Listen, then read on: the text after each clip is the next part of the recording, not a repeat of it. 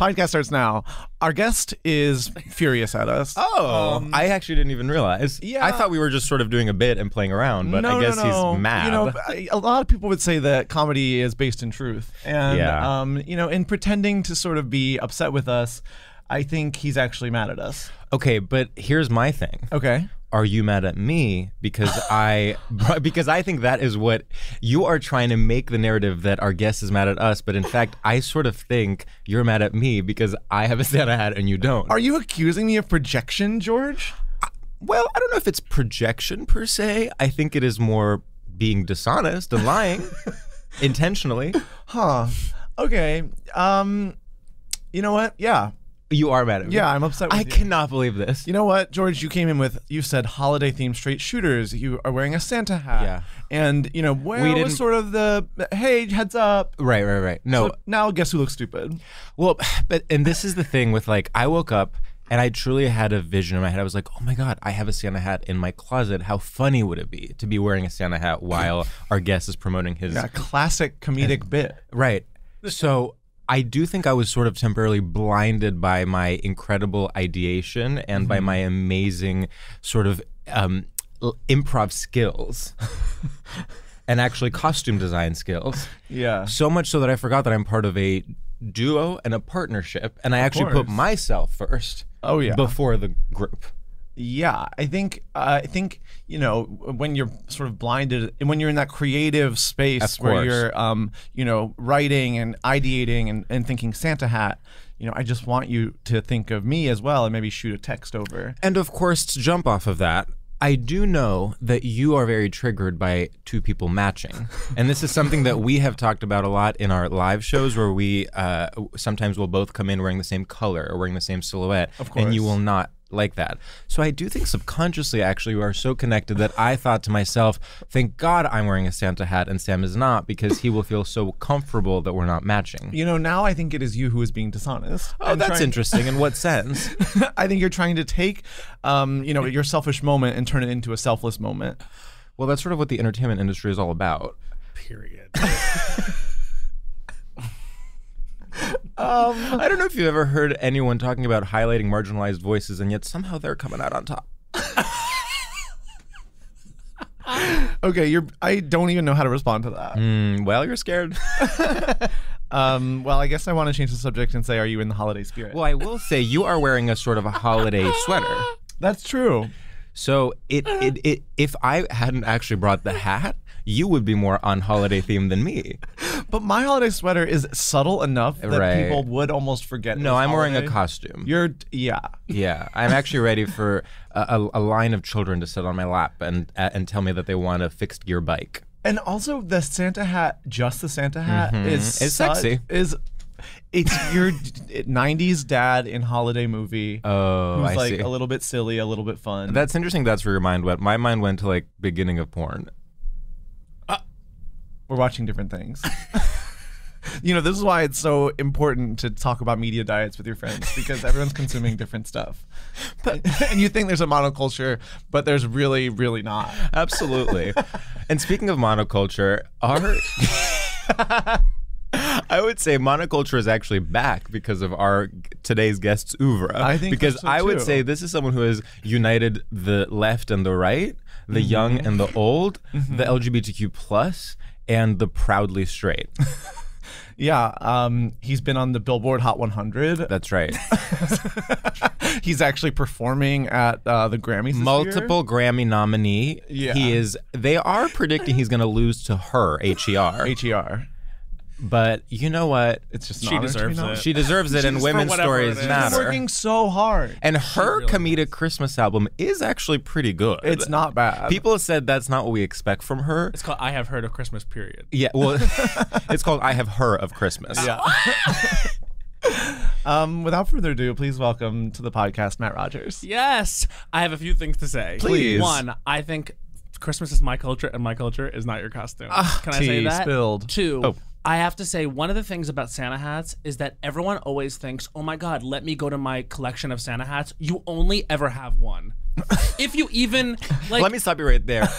Who thinks let me go to my collection of Santa hats? I just hats? feel like Santa hats are like sort of like a white tank, or Of like. Or, or like a turtleneck. A cla- where they're a basic. you think that they're just like in your yes.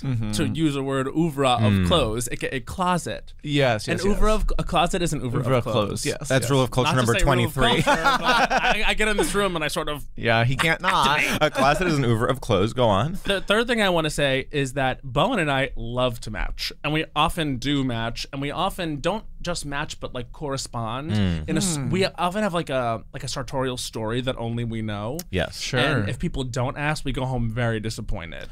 I actually think Sam, you have gotten more Uh, accepting into of it. matching. I'm learning to love matching. Yeah. Well, you did it today without even knowing. And can I ask, did you show up today in this because you thought this is a slight nod to the holiday and this is sort of the holiday episode of StraightioLab? Okay. Yeah, actually. Yeah. So it was like one I've been wanting to wear. I wanted. I've been wanting to jump into the holiday spirit Yeah. sartorially, uh-huh. generally, and then. And then today we're I was here. like, well, I was like, but it's so early. And then I was like, no, no, no, because this is going to come out in a month. It's essentially Yeah. Christmas Day. yeah. Wait, when will this come out? I have no idea. Neither do I. To know that is so messed up. It's coming out at it will, will come out at a time that is appropriate for promoting a Christmas themed product. And I thank you. and can we say we're all sort of, I know podcasts are now a visual medium, sort of cross Yes. big money players. Uh, yeah. Yeah. So we're all wearing this sort of neck. So So- how would you describe And, this? and neck? again, crew it's neck. sweater. it's it, it is for sure Yeah. crew neck, but it's also thick collar. crew yeah, a neck. little bit up. crew neck. Uh, like almost a mock. almost a mock. yeah, almost nearly, very Hinting, much hinting at a nearly mock. And we are also each mock. of us is a different Baby mock. Yes, Baby mock. baby mock, and each of us is a different neutral tone because Yeah. it's beige, brown, gray. Wow. Okay, thank you for confirming what this was because you know. Well, I know classically you're colorblind. colorblind. Yeah. I thought this was green.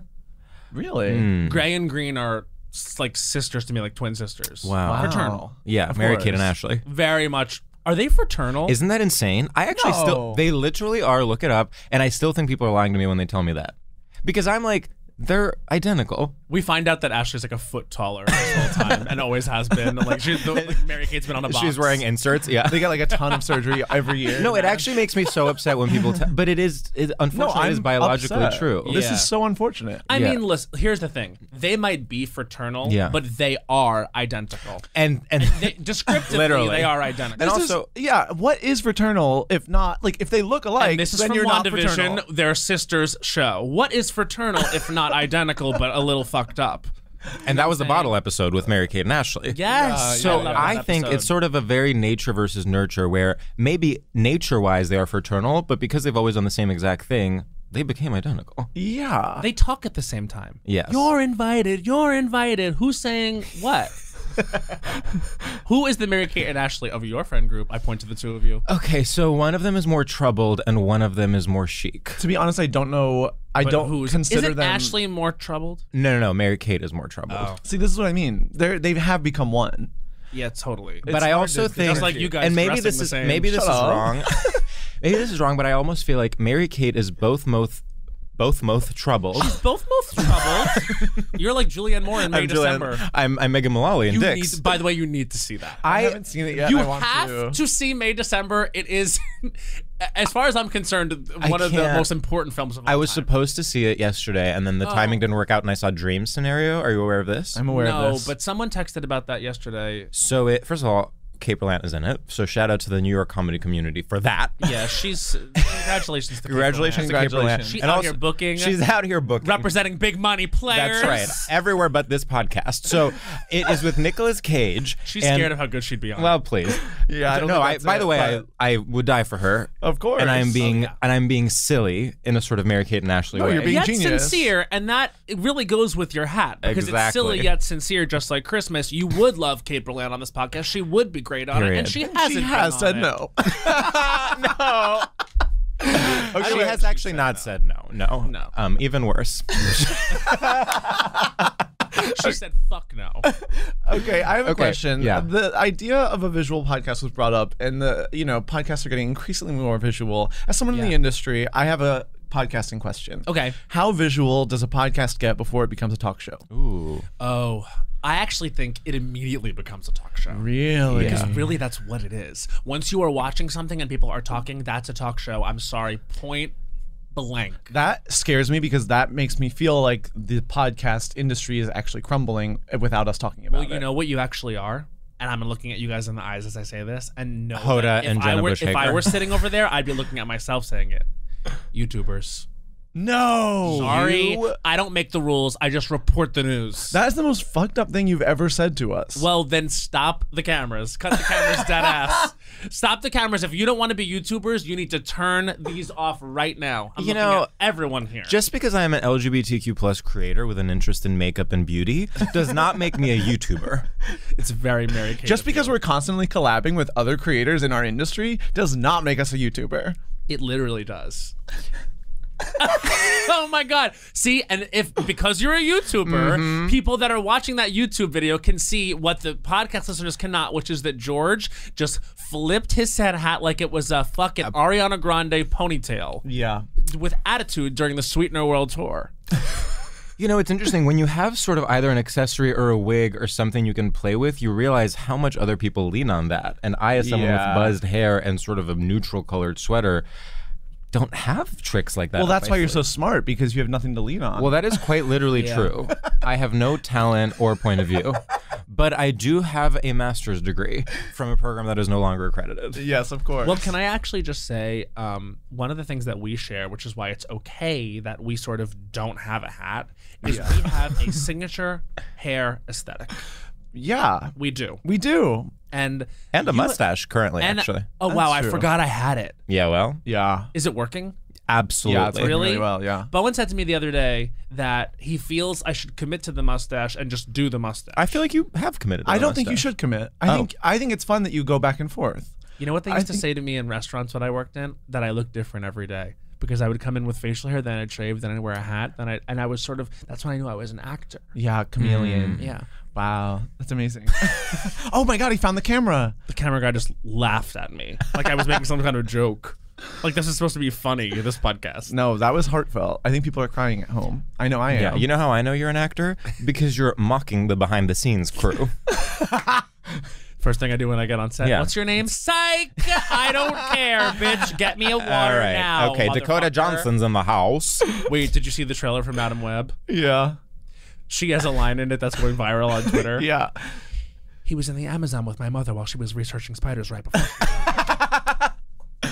I don't. You Okay. should you should watch more. Can I actually say something provocative and controversial? Oh no. I would expect nothing less from you, George Civeris. I actually am in a place where I do not click play on trailers because I have been burned too many times where they give too much away. yeah. Like, in fact, talk about May December. Recently, someone told me Julianne Moore has a lisp in it. yes, she does. I should not know that going in. And that I what a fun surprise. I didn't see that coming, and it took me. I watched it with Greta at her house, and it took me approximately 15 minutes to adjust. yeah. And I think that that was on purpose. Yeah. Because she is supposed to disorient you, Of course. Yes. Well, like she disorients the child she fucks and then marries. okay, Okay. judgmental. Stop. You're spoiling it. That's one of the top things to know about the film. Well, yes, that I, yeah, do know I- that. yeah. And um and I know I did forget, though. And I know they're Charles Melton. That's the they're Yes. saying that's the new guy. Charles Melton. They're saying that's the new guy. I can confirm his performance in the movie is stunning. They're saying Charles Melton is the new guy, and they're saying Jacob Elordi is the new guy. Oh. And if you don't agree, you actually are being arrested. They- They're taking you away. They're in taking you away. Are we allowed to have two new guys, or are they going to have to? Well, I think that's the the crown? issue. They might have to duke it out. Yeah, they have to duke it out. Yeah. And of course, where does Barry Keoghan fit into all of this? I think he's, He's- already sort of fit in. Yeah, he's got his place. He's not Yeah. the new guy, but he is a new guy. He's a new guy. Have you guys seen Saltburn? yes. no. And I will not be commenting on it on I can, and you want to know why? That's because success is a prison. I because now that this podcast is successful, and I and let me tell you something, it is. And I've been where you've been. I've been I've been a newly successful mm-hmm. podcast, and now you're at that place where you can't say you didn't like Emerald Fennell's new movie I never said that and never because would. you can't. I think Emerald Fennell is a filmmaker. One hundred. I think she is a woman. I think she's Amazing. British. And therefore, if you and were I say think, something negative, and I think she is also a writer, Yeah. and I Oh. think she has a background in acting, and I think, you're saying facts about her. You read and the and I think she even has made multiple films. she certainly Amazing. has. I think her first name is Emerald and her last name is Fennell. his review of Saltburn. Okay, Matt, was there a moment when you said, "Uh oh, I'm a newly successful podcast," and I said something, and I'm not, not now I'm not allowed to say that anymore? Actually, yeah. What was it? I remember there was a time where Queer Eye had just become really successful. And Bowen sort of popped off on I can say this because I think he stands by it. Mm-hmm. And he has Well, also Queer Eye is now falling apart. So Yeah, right because Bobby has said yes. Well, it's the out. last season. yeah. Oh, is or it's, it? it's at least Bobby's last season. One of them was means not. it's the last Which means the last season. One of them was not invited to one of the other's weddings. oh shit. Ooh. I think- what's the T? I, ca- I can't remember what yeah. There's like it some is. drama, where but like, there two of them is hate drama. The other ones or something. well, that's been since the beginning. Of Okay. course. That's Well, like a peek behind the curtain. I, I don't know. Yeah. Right? Like I I, don't feel know. like I didn't know and like, again, successful podcast scary to say things you think, but I I feel like they that it's not all paradise. Sure. Well, I do think not only is it all not all paradise, but there are alliances. yeah, that's clear. But what I will say is from the beginning, and I'm sorry to cut you off. No. From the beginning, I felt because my And by no, I mean that mean you have to stop. Just- yeah, yeah. Don't continue. And by yeah. no, I mean and I please refuse. welcome Emerald Fennell. From the beginning, I thought because I have a background as a viewer of MTV's The Challenge, where Karamo was in fact in the villains versus heroes Oh my season God, of I like had the, no the idea of Gauntlet, his- the As a Challenge, hero, something as a imagine. villain. Wow, well, that makes sense. Right. So Karamo, before he, be- I, like my big thing when Queer Eye came out as I was like, don't people know Karamo, who's now literally the psychiatry expert, used to actually be like a villain, uh, like he was a reality television villain, and now he is taking people on walks around the block and talking to them about their marriage. that doesn't track for me. So I thought if anyone would be the one to sort of like break off, it would be him. But lo and behold, it's Bobby, the nice one who actually loves beige. Yeah. I think that Bobby is in a glow up period. Yeah, Yeah. And I agree. think that Bobby is going to stand the test of time. And Yeah. I Yeah. think that Bobby, I support Bobby. And I can I say, I support them all. I agree, actually. Beautiful. I support them all. You know who didn't support them all at one time was Bowen Bowen Yang, Yang. who sort of mm, had a reaction to Anthony I can only describe as negative. Oh, sure. Sure. Well, we all. I mean, Everyone fact- did. We just didn't have successful podcasts at the time. Right. So you were on an episode of Lost Coach one time when I came in. I came into the podcast hot from watching Queer Eye in my quote unquote Anthony drag, and I believe it was Oh. like a white T-shirt and like a cool bandana. Yeah. And it was shortly after that that like that Bowen tweeted about Anthony something negative, and it went sort of crazy. And like there was like an article written like about Anthony being polarizing, like the pros and cons Oh of Anthony or something, which maybe we even wrote for Vulture. Oh, that's interesting. So you are you want to you sort of want to be the victim of the media narrative while also Well, creating it. literally writing the article. There was an article that came out that we also wrote. well, we were featured in an article that. Oh, right. We also authored. And Yeah. Can I say I was pro Anthony? I was arguing for Anthony. I mean, and this I is- still do. This to is such a classic Matt and Bowen argument of like like if you were to be like, what did Matt and Bowen last argue about? I'd be like, was it Anthony and Matt was pro and Bowen was anti? Well, the answer is it was. Does a Big Mac have tomato? And the answer is. No, it does not. And I was Oh. wrong and Huh. Bowen was right. But to return to the story, Bowen had said something negative about Anthony on Twitter, now X, now useless. Um, yeah, whereas back then it was really so fun. Hey, it did mean something. It was a community. something. Um, but then like it like got back to him, I think. and, Well, like- yeah. And I I think that's when I realized like, oh shit, like we can't really be doing this anymore. And then there was another time where I had to take an I don't think so, honey, out of an episode because I had a screen test f- to be in a movie with someone I had done and I don't think so. Yes, and that is Did I tell you so about that? I actually have a guess for who it might be. if you guess correctly, we can leave it in. Tina Fey. No. Fuck. Damn. And now, And now- I yeah. would never. I don't think so, honey. Tina Fey. Someone did. I don't think so, honey. Someone Tina Fey has, yeah. At a Las Culturistas live show, and Oh. it does haunt me to think the the live show. I don't think so, honeys that exist Yeah. out there, where it truly gets like really tough. Um, I mean, there are yeah. when you're in front of 300 people at the Bell House, you say some kookaloo. You know, I would say at your most, at your peak of I don't think so, honey lives, you were a free speech podcast. Oh, 100%. Oh, 100%. And now we're sort of, you know, well, not. yeah. we're sort of. Well, now you're part of. You're officially part of the DNC, actually. Bowen always has been part of the DNC, and I'm on record. He's a centrist. Of course. Yes. Whereas you're, of course, a radical leftist. Yeah, and everyone knows that about me. Everyone knows always that. have been. That little leftist was me.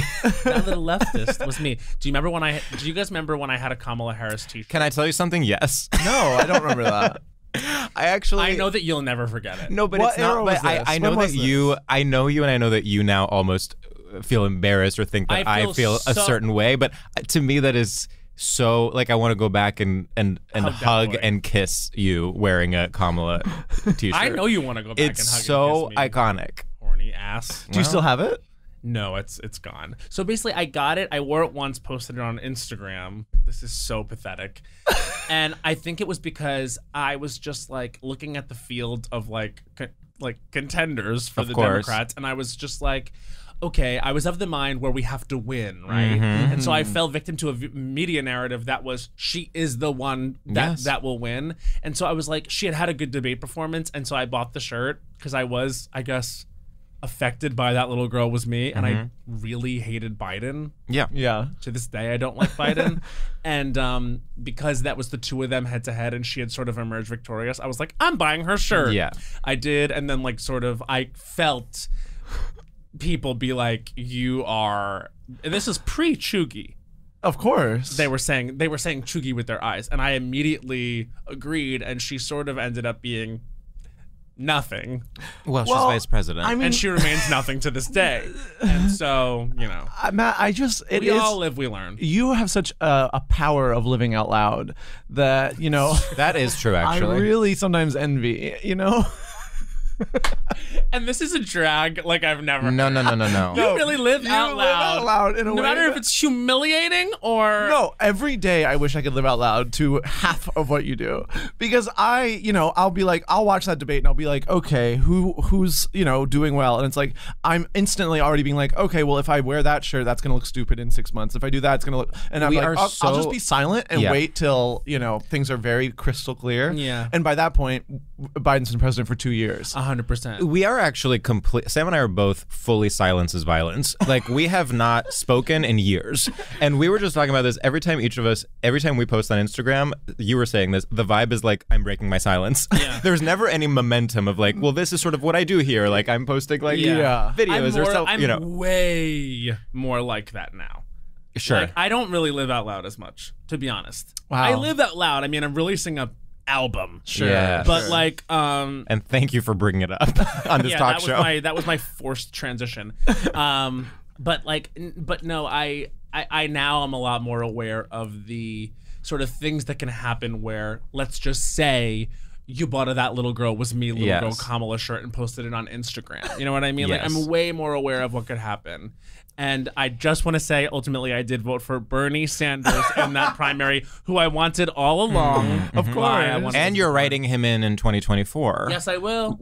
But you're actually voting in a swing state as well. 100%. So that's I'm, interesting. I'm a new That's voter amazing. in. You're a new voter in Ohio. a swing state, and you're writing Georgia. in Bernie Sanders. Mhm. I actually know people that have moved to Atlanta for that reason to vote. to vote. Not for the tax breaks. Liars, I guess it was for the tax breaks. Hey, you're always here to reveal the dark truth, aren't you? George? I mean, like Hollywood, isn't everything filmed in Atlanta because of the tax breaks? I mean, everything goes back to taxes. Yeah. It Are you all thinking goes of? back to Are you taxes, literally which is why thinking I'm of? voting for Donald J. Trump? Are you thinking of the Queer Eye guys who moved to Atlanta to film the latest season? well, they didn't do that. The You're like, production I know. company made them do that. Netflix made them do that, and we want to talk about a big corporation. Let's talk about that. Netflix, May, much like December. Emerald Fennell, is a Is wonderful An woman. amazing place Yes. for media. I had like a not so I appreciated Promising Young Woman for what it tried to do. Uh-huh. Which had- is what? had- Footage not found. what, well, what I tried to do is have a great trailer.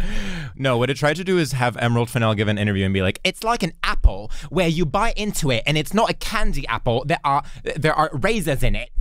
She, she- that was yeah. An She was apple like full of she was like an raisins apple full of exactly raisins. What promising Yeah. young Wo- woman Yeah, was. anyway, but go on. I had I that was one of the times when I realized the podcast like could not be a place for free speech because Yes. I got on on the podcast and said my honest review of Promising Young Woman, which was that you know while I think give me a hundred movies like that before any of this Yes, other bullshit, of course. and I and but there was things about the script that just, just did not work.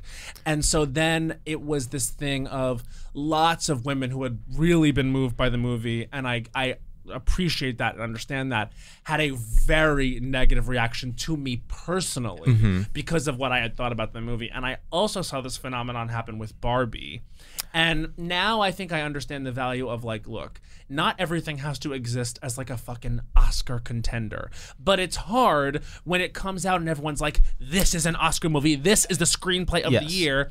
And you, as someone who's like, okay, well, with that information, I'm now going to look at it like that. And there are things to discuss about it. Let's discuss this piece of mm-hmm, art. Mm-hmm. And yet, there's people who are like, feel really spoken for by the movie. And so that's the kind of thing where it's like when you're on a piece of media that a lot of people listen to and that a lot of people consume, you're going to get that type of thing where it's just like, yeah, no, not everyone is listening to this in like quote unquote good faith Yeah. for a critical lens. It's like sometimes people just like what they like and they're going to get on social media and be militant about it. So if you're going to say the truth about it or what you think about it, like just know that. So in that spirit, what is your review of Saltburn?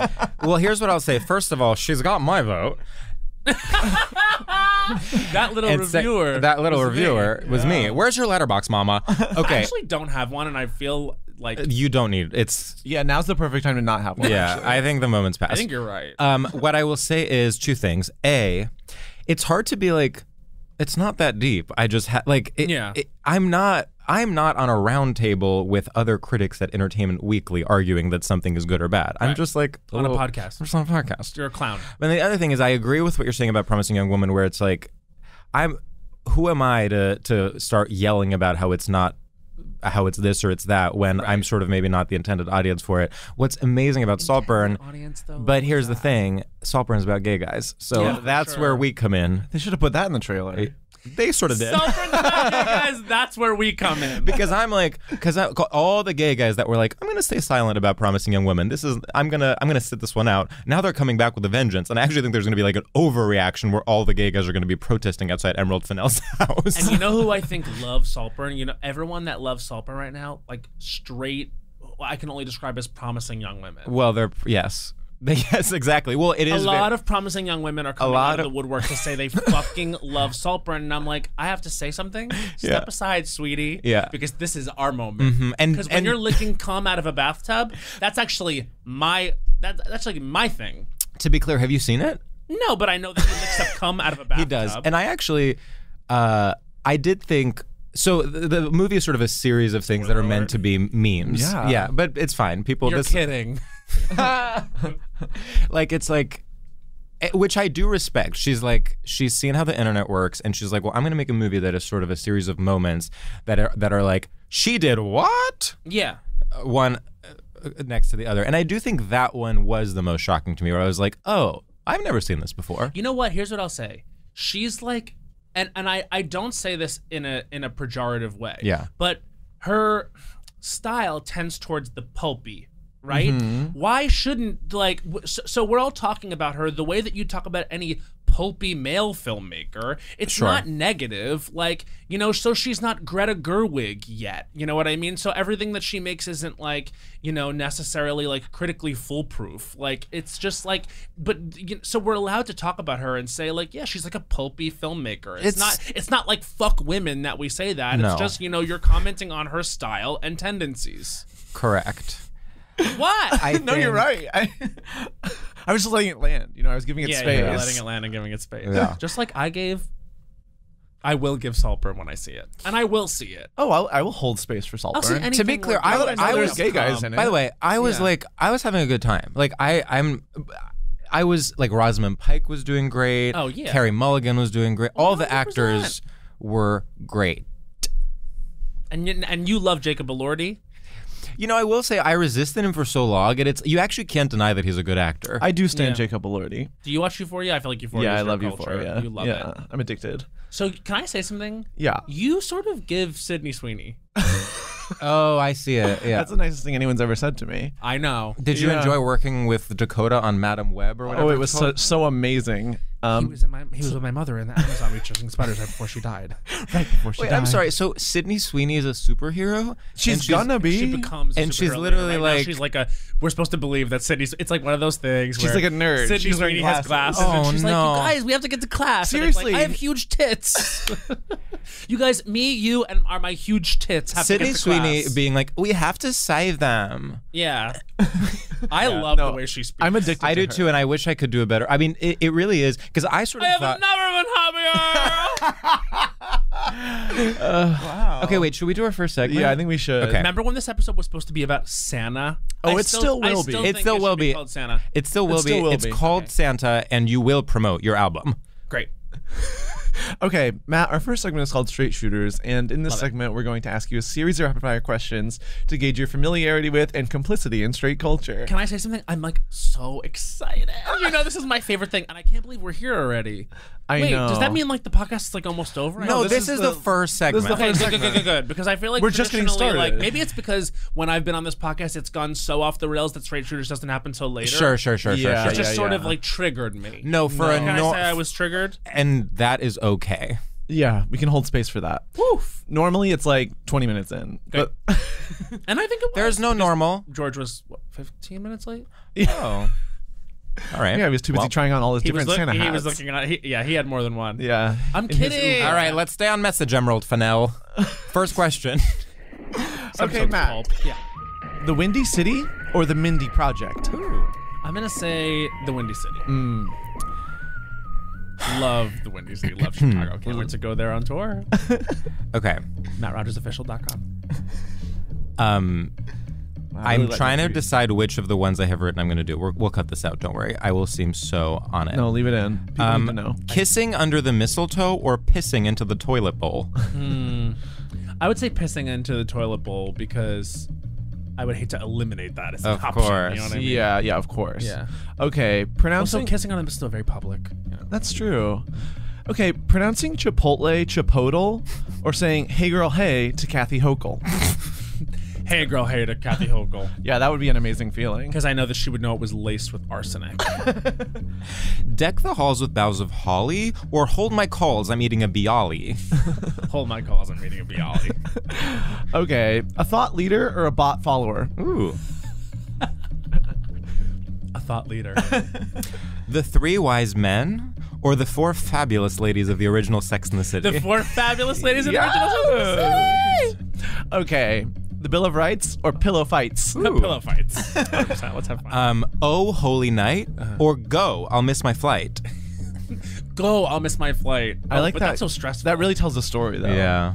Because it's not I need to go; it's you go so that I can get my. Well, it's Meryl Yeah. Streep in the back of the car in Devil Wears Prada at the end going, go. Yeah, which is Oh. which is what I always think of. And now, are you guys done? Because I have them for you. wow. this is crazy. Okay, go, go, go. Okay, red and green Christmas or white Christmas. I'm gonna go White Christmas. White Christmas. Have yourself a merry little Christmas, or have yourself another cocktail, honey. Life is too fucking short, quite frankly. Have yourself another cocktail, honey. Life is too short, quite frankly. oh, holy night, or girl, we've heard this song too many times. It's a lot of screaming. I'm gonna go Oh Holy. Oh, Night. holy night. gay, gay sex on Christmas or gay sex on Thanksgiving. Gay sex on on Thanksgiving. Thanksgiving. Three Wise Men or TLC, the band. TLC the band. TLC the band. Frankincense or myrrh? Myrrh. Do you know what that is? What No. is it? Problematic. Elves are fine or Union Uprising now. We need to get Fran on the case. Union uprising now. We have to be pro labor. Oh, I was like, what is the connection? But it's that elves should unionize. Of Okay, course. yeah. That was sort of the joke. Let's. Mrs. Claus or Santa's side chick who lives somewhere down in the greater DC area, Bernadette. okay, see, I actually am going to say Mrs. Claus. Me too. I have to stand. Stream Have You Heard of Christmas or Suffer the Consequences? Stream. Have you heard of Christmas? Correct. Do you know I have a lot more? Oh, Oh, please. I mean, go into Keep the music going. Hark the herald angels sing, or what the angels should be doing is taking singing lessons because these women are tone deaf. Period. Uh, what the angels should be doing is taking singing lessons because these tone-deaf, angels are tone deaf, period. Xtina's Xmas or the legendary Nat King Cole. the legendary Nat King See, I'm going to go Xtina's Xmas for that one. Bing Crosby or Free Britney. Ooh, free Britney. Sh- I think she's been freed quite a bit. Frosty the Snowman or Rudolph, who's actually a big slut. Frosty the Snowman. Frosty the Snowman. I'm I'm always confused with Rudolph. Are, why are, like is he an adult or a child? Yeah, they need Why to are all that the other like I'm a, I'm a little bit like all the other reindeer are adults and they are actually at their job and then Rudolph is coming in sort of like he wants to have it both ways. Yeah. He's like, don't underestimate me because I have a red nose, but I'm underage. It's also like he's that type where it's like, well, you're not as experienced. Like, actually, you need to calm down and Exactly. like put in the work. And and yeah, maybe you have this God-given gift of this nose, but it's like that's fucked up. I don't like. Also, So like, gets to cut the he- line and lead he- the sleigh? Like, is he gay? Like, I'm like, Is he gay? Is that what you said? yeah. Like, is he gay? Like, what is? They have not actually decided for all the mythologizing about Rudolph. I'm like, where is the Oh docu series? Can I stop you? It's called a metaphor. Obviously, Rudolph is gay. He's It's- gay. He's queer. It's a queer narrative. Okay, but he's He also a child. born different. He's gay, but he's also a child. Okay, There's Pizzagate. tons of gay kids out there. Pizza Pizzagate? Yeah. Is that what you said? this must be StraightioLab. You see what I'm dealing with? It's? Whatever. Take that back to the DNC. I would like to pitch a guest for you guys. Oh, Okay. So, you know, Pizzagate or pitch a guest. pitch a guest. um, okay, so by the way, segment over. We can stop the music. Oh yeah. By the way, I had one more, which I can clearly Matt, just, tell you.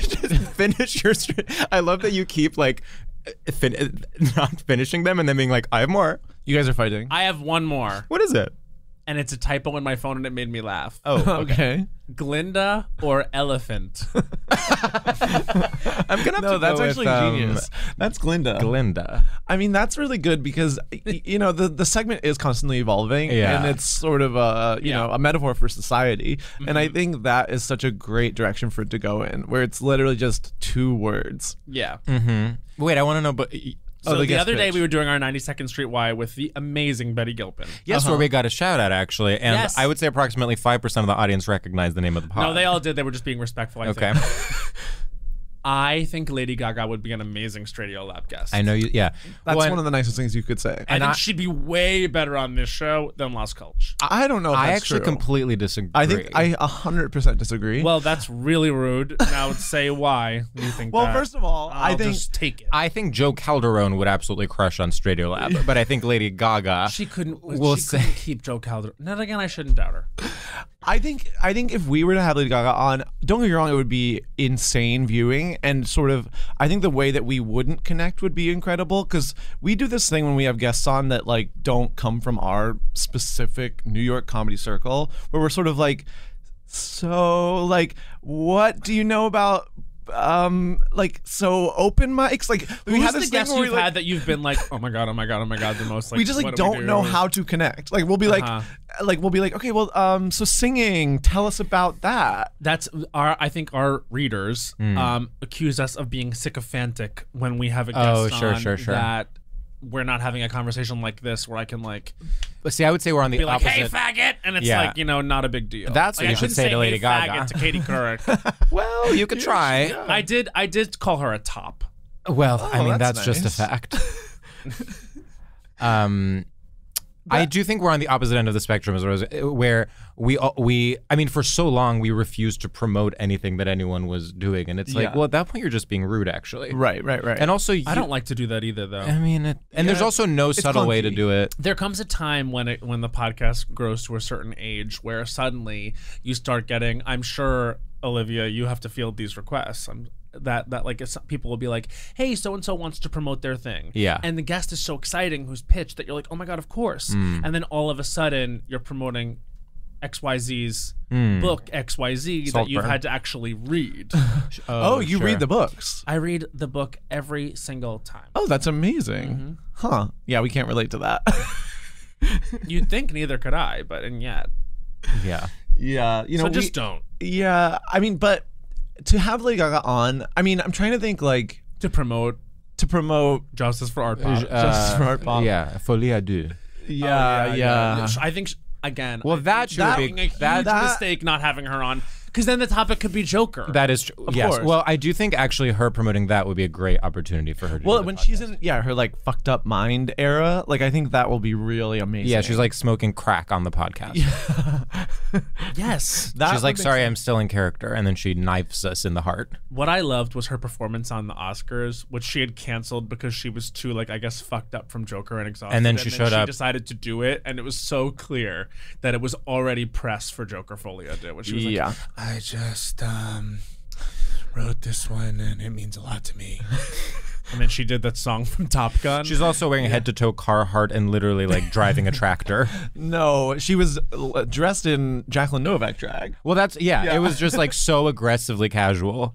It was She so was dressed in funny. Jacqueline Novak. Well, it was so funny too because it's like I'm being normal, but it's like the shirt literally has like creases in it, like it was just out of a package. yeah, it's just like you've never telling worn these clothes in your life. and then it was like clearly the best thing of the whole night. Yeah, Yeah. Say for Billie, we love Billie.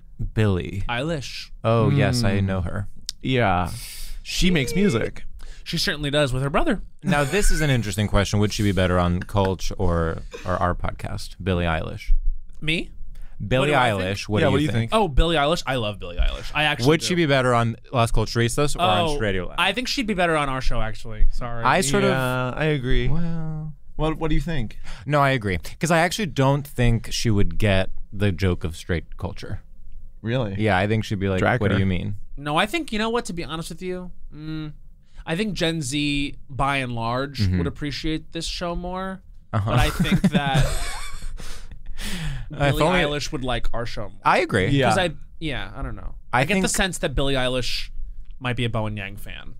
Oh, And that might be exciting for her. sure, sure, sure. I do sort of think Lorde would get the straight culture joke. Lorde would actually uh, put her number one guest. That's yeah. what I want. Yeah. Here's who do great on Stradio Lab: Lorde, Mm. Gaga, Yeah. Solange. Well, I mean, Solange would be literally number one guest. She would come in with a list of topics. Yeah, Um, she'd be like, she would burn this down. Yeah. I love it. yeah, yeah. There'd be a whole uh, PhD on it. yeah. I'm like, she used to live in New Orleans. I feel like her topic would be Mardi Gras, and she'd be like talking about all the tourists coming Yeah. to town for Mardi Gras. I think SZA would be amazing on this show. Yes. Here's who I think would be great on Las Culch: Hmm. Taylor Swift, Well, Yeah. of course. Cardi B. Yeah. Sure.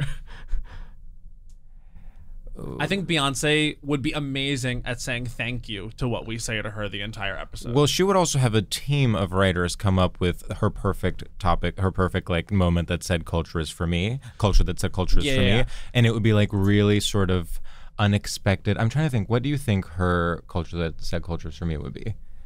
It would be like learning from women Who, in my life. Yeah. It, would, be, Tina Turner. Oh yeah, yeah, yeah. Sure, and that would be sure. something that went through like the whole team, and they were like, "Well, you know, like t- you should say Tina Yeah, Turner because yeah, yeah. a it's true, and b it would con- it would actually it probably is something she could speak to. She would also, I will say this about her.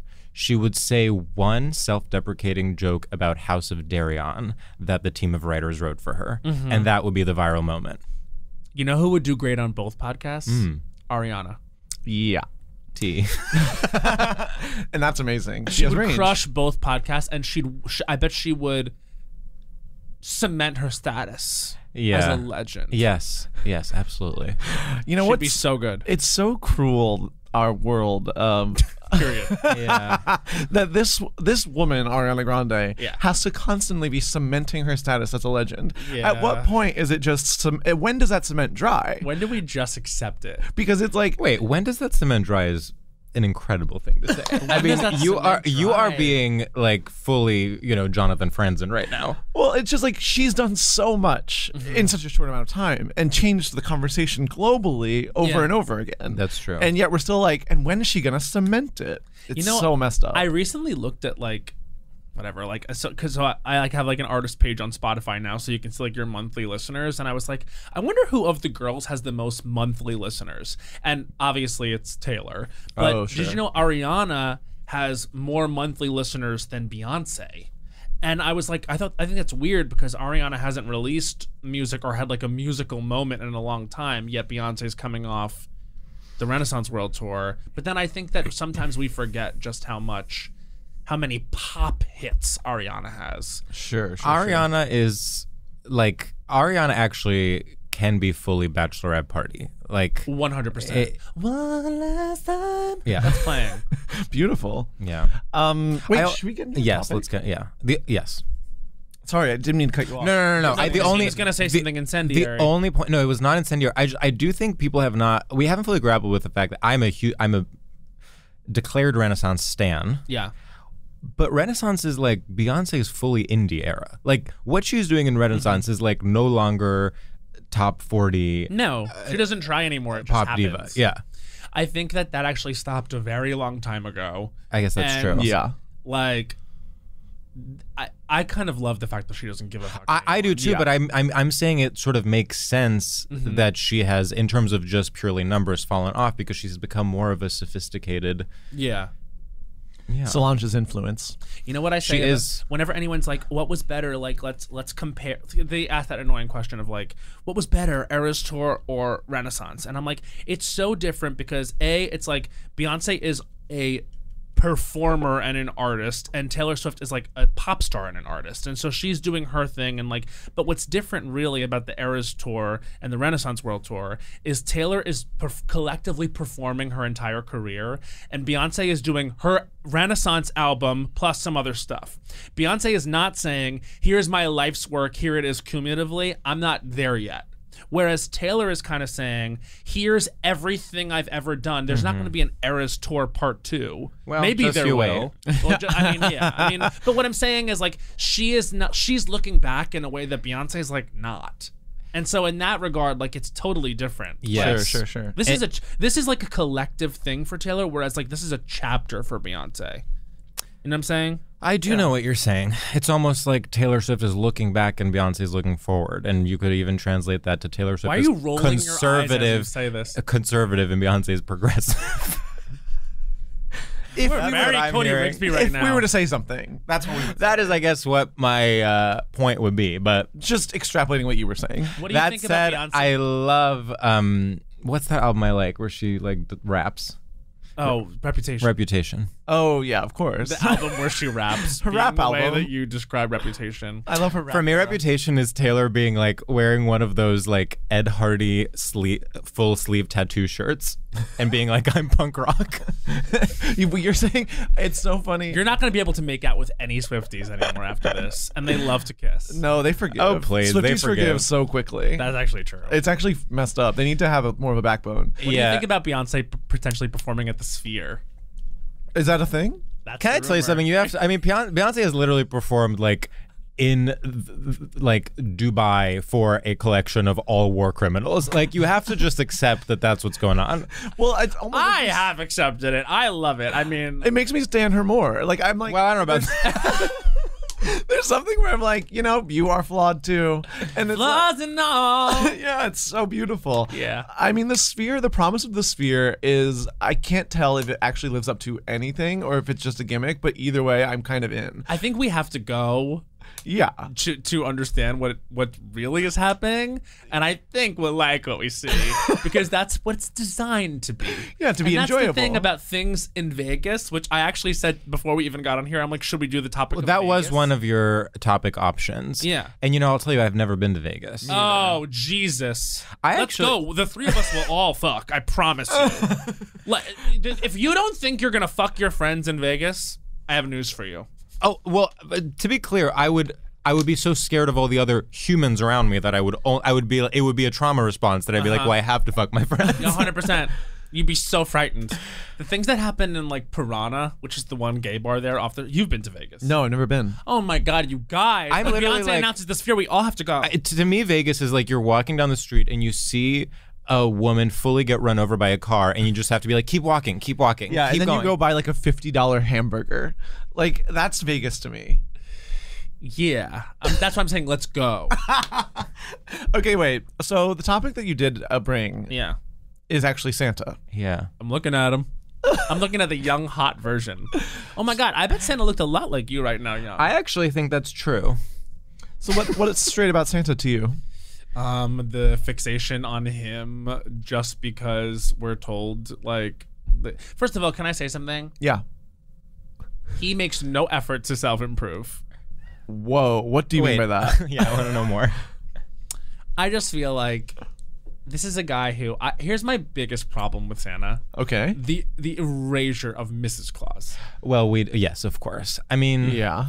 Okay, so yes, in that way, he's not it- good to his wife you never see her You know, and you know what? This is actually, I think this is something that's very straight about Santa. It is a classic male genius narrative. It's like there is one Santa. He, I mean, he is the you know, who's a famous male genius that we romanticize? Thomas Like, Edison. He's the Thomas Edison. Who, by the way, tested on animals, and people don't talk about that. No one's talking about that. no, they Blow don't. it up. He was a psychopath. yeah. Okay, Dig him up and shame him. okay, I mean, I'm this, happy we have lights. this cancel culture is, has gone too far. If we cancel Thomas, Edison. if we Edison cancel now- Thomas Edison, and I people mean, were like, "I'm actually not turning on the lights in my house because Thomas Edison used to test on animals." No, I'm doing. I'm doing. I'm acknowledging whenever I turn on the light the animals that suffered under his hand. Um, I do want to say, I think Mrs. Claus and Mr. Claus have. You know, I think they're just not codependent. I think what they do is so tasteful, where they have like private life most of the time, and then come Christmas, you know, yes, he does his job, and yes, there's a performance to it, of course, but you know, it's selfless still. I want to reveal that like Mrs. Claus is like Erika Jayne, like a young performer, sure. young snatch, shows up at events when she has to, Yeah. and like has like a huge budget for her dance pop career. That would be amazing. Yeah, Do you but know I don't think that's true. I think she's I- probably an older No, woman. and well, hopefully an older woman. I I feel like you I don't would hate to, I would to be. hate to hear that he was dating someone much younger. Because Santa's then I worry for her. That would be I would hate to hear that Santa was a groomer. I, I would sort hate of, to start that conversation. I sort of think it's even worse. I think there's a sort of Leonardo DiCaprio situation happening where Mrs. Claus, in fact, is not one person, but she's being changed out every five years. Now, but that would she be doesn't have a public enough profile for anyone to notice. Oh this is oh what my I'm saying God. too. Is it's like, what if there's like 15 Mrs. Clauses? Yeah. Oh my God, that's another horrifying thought. There's never it's been like a a Mrs. Hugh Claus Hefner over 26. situation. yeah, That's yeah. so There's actually sad. three uh, Mrs. Clauses. oh, Holly, Madison. I don't know their no, names. Holly Madison is her name. Holly Jolly, Jolly and Chloe. Wait, what are their names? Bridget. Holly, Bridget, and Kendra. Kendra. That I, I love that. I love thinking about three young Mrs. Clauses. Oh my God! And they actually are the Playboy Playmates. Oh, I love actually. That is so I Love what Santa is. I love. I love Love Actually. Laura Linney's a treasure. I do actually think that sort of ties it all together. Santa is a Hugh Hefner figure, and he has three Mrs. Clauses, and in approximately 250 years, they will finally be ready to tell their story, much like the three Playmates did.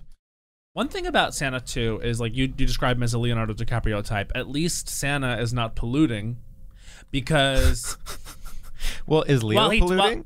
Well, oh, Well, he's with yacht. He's an environmental- about the environment, Yeah. and then is on yachts, and you have to imagine private planes. Private planes. You think he flies commercial? I don't think so, honey. Yeah, I would have seen a photo of him sleeping in the first class section. exactly. Okay. We would have seen people be posting like, "Oh my God, Leo's on my flight." I'm sleeping next to Leo. Ah!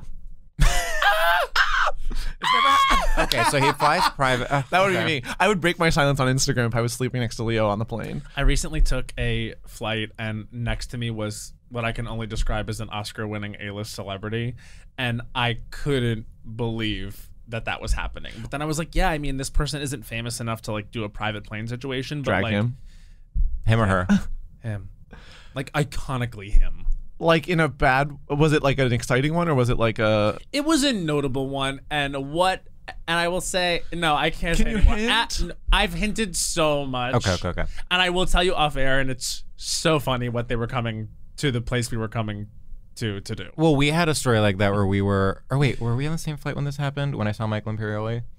uh, It was just my flight. So I was on a flight to Minneapolis, and Michael Imperioli and another guy from The Sopranos were on it. And I, this was during the strike, and I looked it up, and I was like, well, surely if they're traveling together, they're doing some sort of Sopranos event. I looked it up; they were doing like a Sopranos fan event at like a casino in Minneapolis, and I was like, that makes me feel better about everything. Like, or also worse. I don't know. I think it made me feel a little bit worse because it At was what sort of like, point oh, are oh, you- this never ends. Yeah, you know? yeah, yeah, You yeah. can be on the one of the greatest shows of all time and be like, and now I have to fly to Minneapolis to, to, to a casino to I'm do gonna say what it was. I was sitting next to Jared Leto on a plane, and he was flying to New York to climb the Empire State Building. Oh, Oh my God. there you go. That's what it is. There's. Can the I ask you a reveal. question? Why were you afraid of saying that? Yeah, great question. Because As someone I who don't- lives out I loud, feel like someone who like is just traveling traveling on a plane like shouldn't necessarily have their spot blown up about like Oh, sure. You know but what I'm saying? It's at like, this point, like, we know cool. he came to New York to but do it's that. just so funny that he what he ultimately came to do Of that I feel like I have to share.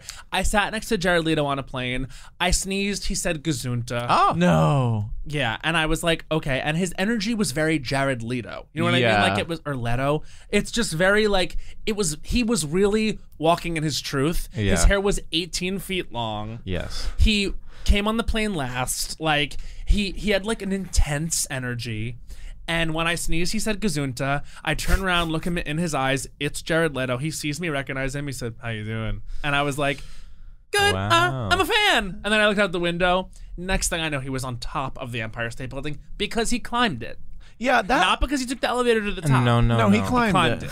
that whole narrative was confusing to me because I was sort of like, why is this happening again? Because he, there was a reason, right? Like, didn't he do it for I don't know that there was Sam. the way? And that- where were we flying from, by the way? Vegas. Oh no.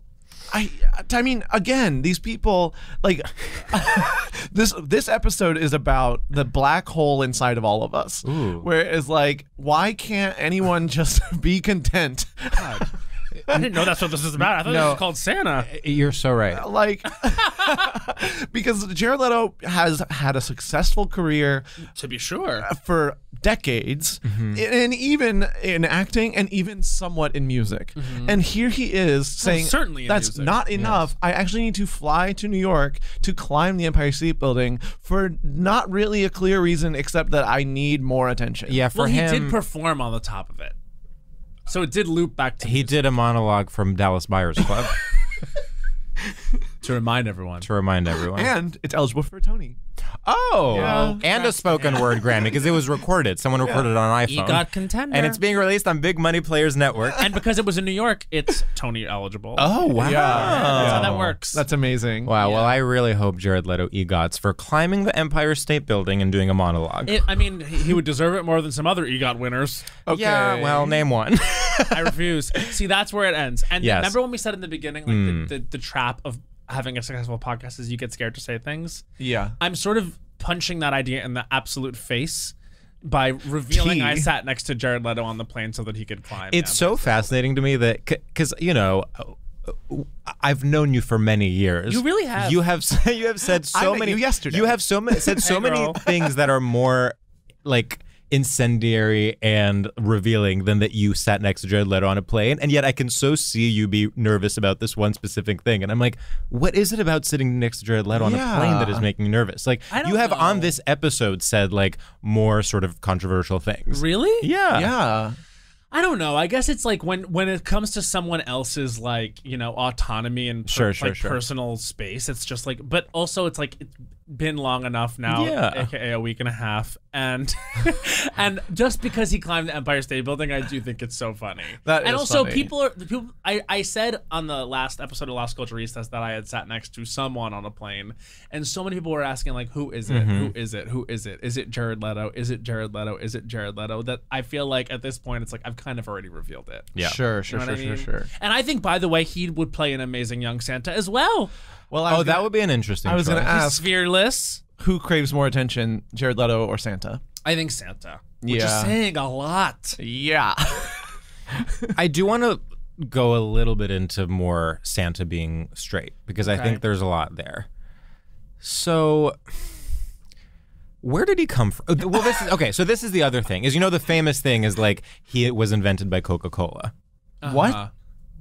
Was that actually true? is that true oh my Yes. god there's then, nothing then, then this is even better than I ever could have imagined. invented by coca-cola Th- I feel insane. This is like something that I feel like everyone talks about and is and everyone Well, is is that why he dresses in red? yes. I mean, Coca Cola definitely popularized him. where do you but think in- he came from? The Bible, George? I mean, th- this is so funny to me. Corinthians? Corinthians 10 2. Santa walked the plains.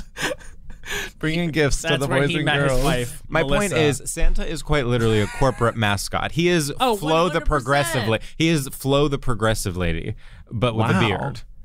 And the only reason he's more respected than Flo, because he's a man. Wait, wait, wait, wait, wait, wait. So if you think that Santa was invented by Coca-Cola, how do you explain like Sinterklaas or whatever, or like the many like? No, I'm not saying the concept of Saint Nick was invented by Coca-Cola. I'm saying what he looks like, spe- how we imagine him in the American imagination, was invented by Coca-Cola. God, I So got they it, got it, got it, reinvented got it. him for for the modern age. Well, it's sort of like how Disney reinvented when you think of, Careful, careful. They own everything. Stop, and they're watching. Seriously, I'm looking out for you. This podcast is huge. when Just you're be thinking, careful what you oh, say, I'm being carried Bob away Iger by will come in I'm being carried away by a cane. It's Bob Iger. Um, you literally just disappear. I disappear. It's sort of like in Marvel what? Yeah. when they The reaping. disappear, the reaping. Oh, that's Hunger Games. Oh well, I don't know what. I, you know when they whatever. start, we it's get it. it's the dissolving. the Yeah, yeah. dissolving. Oh, the snap. the snap. My point is, in the same way that like Disney did not invent Cinderella, but when you think Cinderella, you think blue dress. That is what I'm saying about Santa. Got it. Okay. I understand. Yeah. So this is what's confusing to me is first of all, I'm on this podcast live finding out that Coca-Cola invented Santa. I'm also on this podcast live finding out that Disney didn't invent Cinderella. Did they not invent her? I thought they invented her. Is Cinderella not one of the various fairy No, tales? yes, but that doesn't mean she was invented. Just like Disney didn't invent Elsa, Hans Christian Andersen. That's what I'm saying. It invented did, but that's what I'm saying. It did not invent Cinderella, but it like made her what you picture. right. So basically, like when we see like stunning, like like iconic Beltress, like in top of a fortress, wearing that like long blonde iconic braid, doing "Let the Storm Rage Mm-hmm. On," we think of Disney, but like actually, that's just a popularization, Exactly. commercialization Exactly. of Exactly. Elsa by Hans Christian Andersen, who is actually a frightening villainous figure, Much like Thomas Edison. Correct. Um, and I'm I am upset that the lights are still on. Yeah, of course. It's very think this is disrespectful. very it's saying a lot without saying it's anything. anti-animal. Yeah, of course. What we're doing here by having lights on is anti-animal. Of course. Um, okay. it's okay. Santa. All right. So my my, my only point was he's inherently uh, you know capitalist. He's a corporate uh, mascot. Okay. Sure. So there's that. He's a corporate mascot, symbol of toxic masculinity. Doesn't respect his three wives. Um, Is a liar. is a liar. He can't make it to every house in the world He in can't 24 make hours. You house in the can't do it. That's true. He's a liar. I have a song about that on my album Have You Heard of Christmas? it's an expose, actually. Track 5. I also, you know, I know we talked about Rudolph already, but there is animal abuse happening. 100%. Well, the animal element to Santa, I think, is one of the straighter things where it's sort of, you know, there's always a return to land. Yeah. Um, I think it's sort of, you know, farming culture. Talk about like wearing Carhartt. Yeah. It's, that's what it is to me. hmm Um, He also employs a lot of people who or you know, employees is actually something that's assumed. Yes. No, but and that's that was going to be my next point. I mean, he run. He's a to- he's like a CEO. He's like a Jeff Bezos figure. Oh, that's scary. That's scary. Well, I think one of the biggest lies of Santa, also, uh, other than the houses, is that it's like he's making these things. Like the whole narrative, I think we need to update the narrative. no, narrative. the elves make the toys, and people forget that. but even the elves make the toys. I'm like, then why is it a PlayStation? If you if you bonked a little wooden hammer on a, a piece of wood for eight hours, why am I getting a PlayStation for Christmas? well, this is where we run into the whole thing where Santa is fake and everything that we're. no, but this even as a child, I remember being like, this It is a disconnect. story that's this made up. disconnect is too, no, no, no, no, no, no. This disconnect, I found. I think we need to update the narrative to make it more believable. Because I remember being a child and being like, well, if they're making it, why does it come in a little plastic? I think you And- were and also a why- smart kid, Yeah. which ultimately comes with you know both the birth of imagination, but also the death of imagination. of course. Well- Well, I wanted to believe the fantasy. Talk so about update the narrative. and We're really skipping around saying something shitty about Disney, and I'm really proud of us I, I would n- first of all, because we'll have a blow dark to the neck. I what you're saying about intelligence and imagination is so smart. It is Mm-hmm. so difficult to find the right balance Yeah. of intelligence where you can have a sense of wonder but not ruin it for yourself. Correct. Yeah, I've sometimes I meet people who are like smarter than me in like in a way that they can't do anything, and I'm like, oh my god, I'm Yep. so lucky. Like I barely. And you live in Brooklyn, right? yeah. yeah. So, okay, but this is you're pointing to something interesting, which is like just how open the logical fallacies of Santa are. Like when you're a kid, you're like, okay, so there's a different one in each mall. Mm-hmm. He's making things in the North Pole that I see at FAO Schwarz. I know that that's where they are. Yeah. Each Santa I'm seeing looks different, has a slightly different outfit, is potentially a different race. Like I know this is not all the same man. Yeah, Yeah. and then like practically Yeah. eight, possibly nine if you count Rudolph, which you're allowed to do or not do canonically. Yeah, it's sort of like is Pluto a planet? right. Eight, potentially nine. What you have to imagine are 250 pound reindeer Yeah. land on my roof with a sleigh that holds not just a sorry but plus sized individual. Oh. Oh. and also a bag with a gift for gifts for every child in the world lands on my house Yeah. and my house is what unharmed hmm. there's a lot of logical fallacies There's a lot of logical fallacies, and I think Santa is a is a myth for people that don't have object permanence. Like you have to be. The physics of it is insane Yeah. so what like the are you saying that they that, that like Yeah. the the reindeer plop out of the sky land right on the house and nothing Yeah. Okay, but counterpoint. Yeah. Sorry, go ahead. Well, I was gonna to. say, what do you guys think of the culture? Um, what are your guys like moral rules around lying to children? do it yeah, I sort of agree. i'm Yeah. not gay i'm different i'm special Can I Yeah, actually I'm say not gay, something? I'm can, I, can I say something Yeah. about children?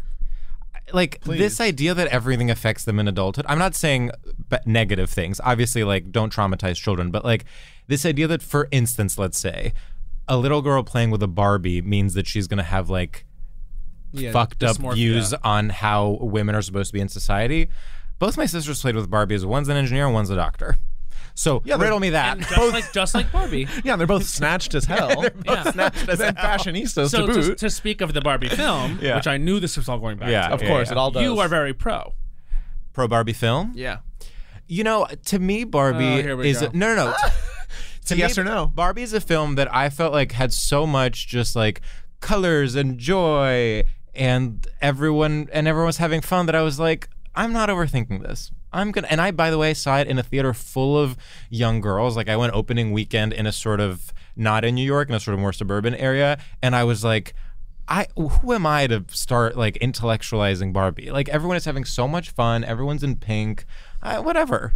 I mean, that but said, the movie intellectualizes Barbie. that said, we did enjoy Oppenheimer more, and we're on record. yeah. That's insane. We actually, you actually- know, Bowen. This is the difference between y'all and us. Bowen and I walked out of Oppenheimer halfway. through. No way. we were both. we both. didn't even get to the bang. We were like, get out of here. No. we were No, both we're- literally. Bowen and I are both so, and this is one of the secrets about Bowen. We're both so stupid that like, and we both get so tired, and like, and we're just like, I don't fucking care. Life is too short. We loved Oppenheimer. We loved so much. It was so Oh my weird. God. yeah. Because also we, you know, You Op- guys can't comment about straight straight. He also- in- in an can we, ironic though? way. Th- I think really we're can't. actually experts in it. And in fact, I went in, you know, of course, I would love to walk into that theater and hate it because Yeah. then I could be sort of this gay guy who's above stuff. But instead, I'm taken by it and I'm actually moved. Yeah. Well, I also think we have a real appreciation for like straight camp. Like You think Oppenheimer. That's what that was. Oppenheimer is a spectacle. I mean, it's like a. It's like, not camp. isn't it though? Explosions. You think explosions Hats? are camp? We can't Emily into- Blunt? I mean, when it was camp when he literally looked at his like hat and tie and like put it on like it was a Batman. I'm sorry. Did you see the person playing Einstein? It was someone literally doing like Drag Race Einstein the Rusical. He like was dropping his hat left and right. Yeah. Come on. Okay, fine. I guess it's great. So, but, but I want to say my counterpoint to your Santa thing of like it doesn't make sense, it's Ill- illogical. Is I'm almost like, and I know we've all been doing this, is sort of finding the logical fallacies and being like the physics don't make sense. But isn't that sort of like toxic rational? Like, isn't that sort of like Neil. Oh, Neil, absolutely. Neil deGrasse so Tyson? unfun. It's so Yes. Neil deGrasse Tyson being like, 100%. Oh, um, yeah. actually the sleigh wouldn't float. So I'm sort of like, okay, well then maybe what is almost queer about the Santa narrative is just the fully joyful embrace of something completely artificial and completely like uh, uh, not real. You are so right. You're so right. I mean, it's very LGBTQ plus when he squeezes into a little thing and slides down the chimney. Well, sliding down the chimney, I mean, talk about Katy Perry in Vegas. like sliding down the chimney is literally Katy Perry singing with a talking toilet or whatever she's Of doing in course, Vegas. of course. I mean, I do think the cookies thing is sort of fun because it's his signature. I mean, I do think the world building that happens Yeah. is very LGBTQ plus. yes. I like that there's the more that we are talking about it, the more I'm like, oh my god, I forgot there's that part and there's that part. I'm sort of like, when did we come up with all of this stuff? It's um what's the it's almost like um like a one word story is how we've like sort of invented the Santa myth is like everyone's just adding like a little bit here and there and, Uh-huh. Yeah, that, yeah, and it's yeah, yeah. all true. Yeah. It's like an open source myth. Wow, it's very the third graders writing the morning show. Which I, I'm midway through this latest season. I have to. I really have to stick The with writers of the morning show also wrote Santa. It. Oh, that's true. is actually really tragic. it was originally supposed to go to Julianna Margulies, yeah. but then they made him. They made him a man because a woman Santa didn't test well. Well, the fact the fact is that Alicia Florrick, played by Julianna Margulies in The Good Wife, actually is Mrs. Claus. This that that, that story takes place before That- she's met Santa. Wait, that is and genius. that's the tragedy is Yeah. that Mrs. Yeah. Claus actually was a lawyer named Alicia Florrick. Mm-hmm. Yeah. I am gonna start incorporating this into my Please, show. please. um, um, and then now she's like, I guess what? What do we call her? Like a figurehead, a homemaker, a first lady type. yeah. Mm-hmm. Here's a question: Do they have kids? no. I and if not, If they don't, they're not having them now. well, certainly not. Well, not naturally, George, but they could adopt. There's IVF in the North Pole. That's true. I guess that's not carte blanche, though. You can't just get IVF. Like if you're a woman of a certain. I think if you're Mrs. Claus, you can. Yeah, she's- she has access. She's Alicia Florrick. she could talk her way into it. Yeah. Yeah. Huh. I do. I wonder how, as new Christmas myths come out, Yeah. I'm like, I do find myself being like, no, like that's not no, like Elf on a Shelf. Like No, uh, no, I'm- I'm- like I I don't accept I don't like that. No. Although you know what, like, look, it makes people have fun. It, like, Does it? The elf is sometimes over here, sometimes over there. It's like so. I guess I like that. That's what I'm saying. It's like I don't want to yuck anyone's yum. I would hate if someone did that to me. But I think that's what Elf on a Shelf is all about. Is yucking yum. He's being like, I'm watching you. It's literally a police. State. Yeah.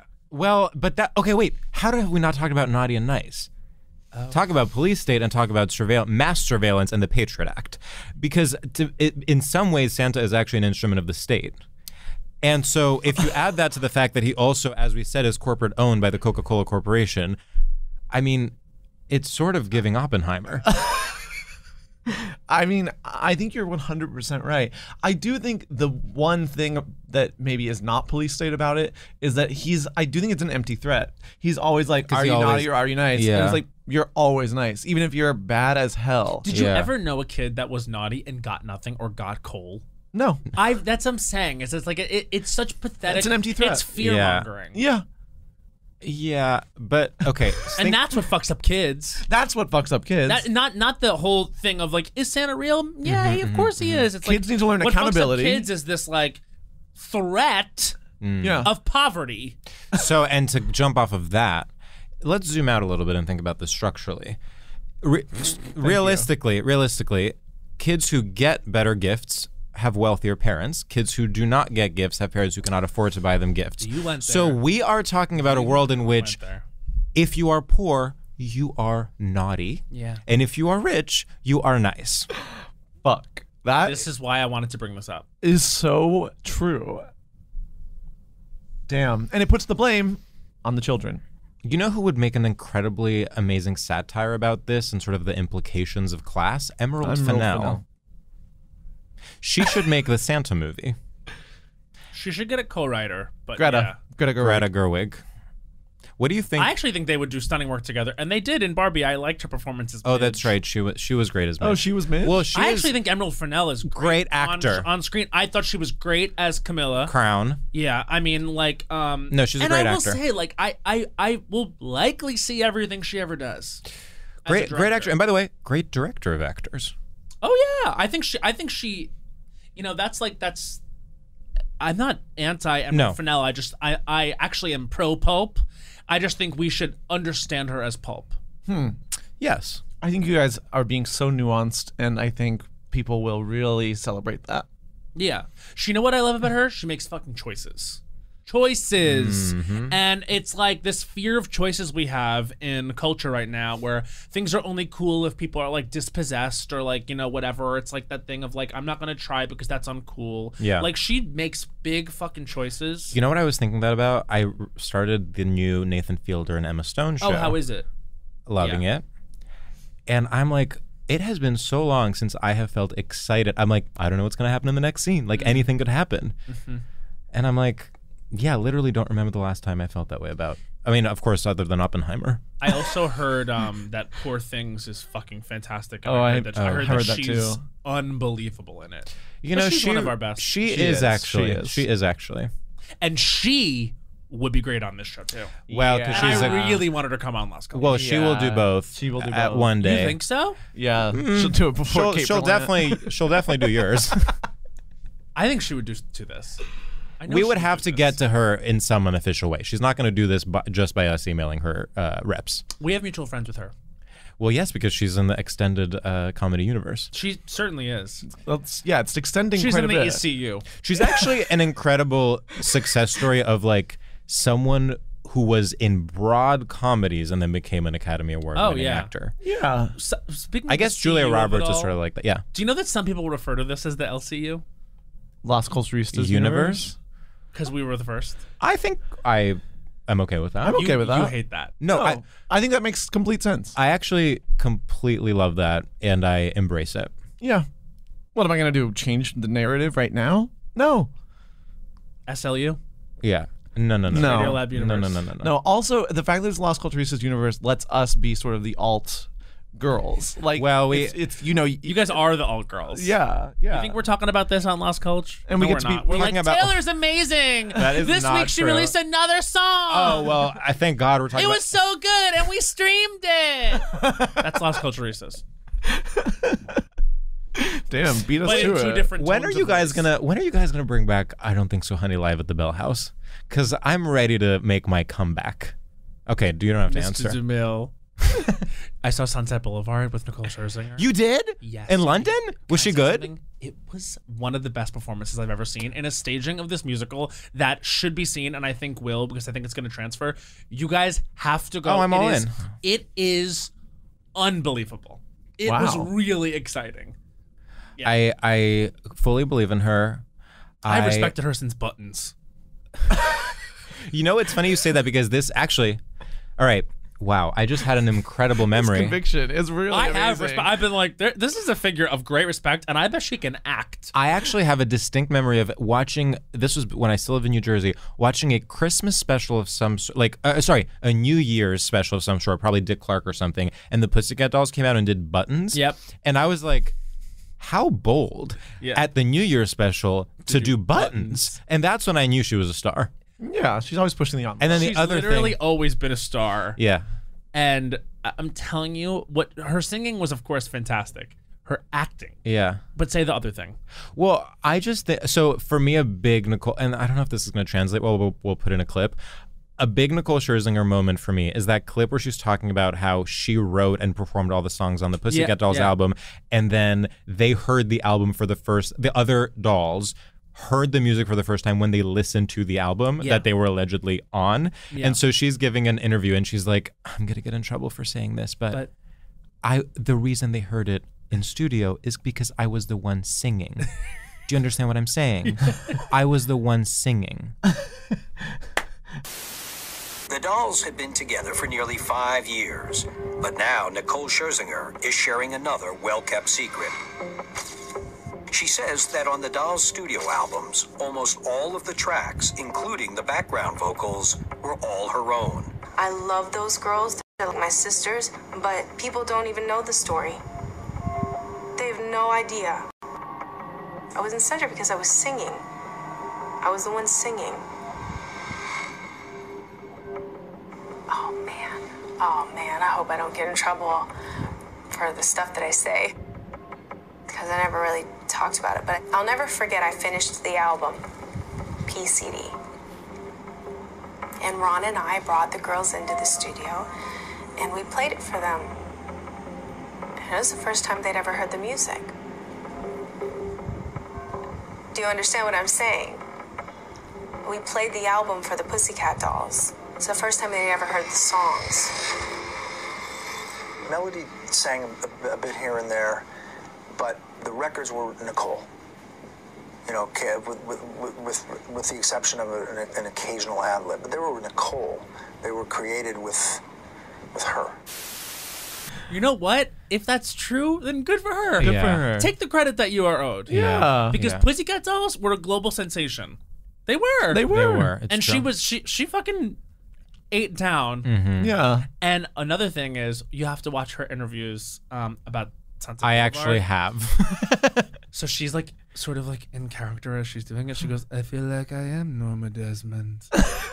and the music filled my soul. And she's like so like goofy loofy. And then like I don't know if she still does it, but in the days where the, the musical was opening, yeah. she came to the stage door in character. Really? Yes, and she like greeted the audience that had just seen her in character, and it was like sort of Gaga-ish, which makes me feel like she'd be great on this podcast. Oh, I, I, I, I agree. I mean, I also so the interviews I've seen are very much her being like.